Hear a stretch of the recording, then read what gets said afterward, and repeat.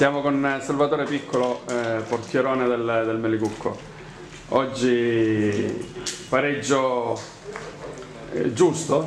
Eh, secondo me sì, visto, intanto buonasera a tutti, visto l'andamento della partita secondo me è giusto il pareggio perché noi potevamo fare il gol, lo potevano fare pure loro, eh, però alla fine è giusto il pareggio contro, oh, permettimi, una signora squadra. Sì, possiamo delle- dire che Sì. la capolista si ferma a Si Melicucco. ferma a Melicucco dopo 10 vittorie consecutive e, e un attacco diciamo, di un'altra categoria.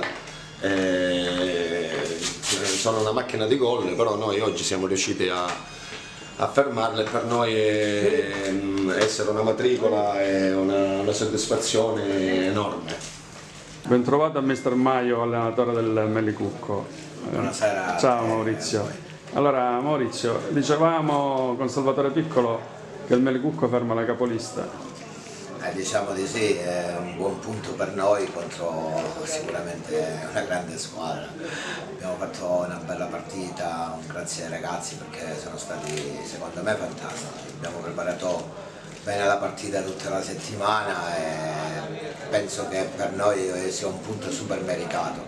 Abbiamo avuto anche noi le nostre occasioni, ripeto, giocando contro secondo me una delle squadre più forti di questo campionato. Siamo con Alessandro Caridi, tecnico della Stilese. Eh, Alessandro, oggi eh, due punti persi, un punto guadagnato fuori casa, come l'hai vista tu questa partita?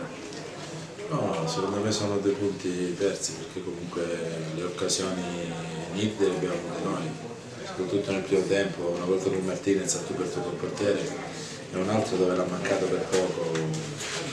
Però ci abbiamo provato, non ci siamo riusciti, va bene così, alla fine è un undicesimo risultato utile, quindi andiamo avanti per la nostra strada, non è successo niente, merito al Mericucco che è riuscito a contrastare comunque le nostre- i nostri attacchi, è un, po', è un po' più di cattiveria nella parte della stilese, forse si poteva anche vincere.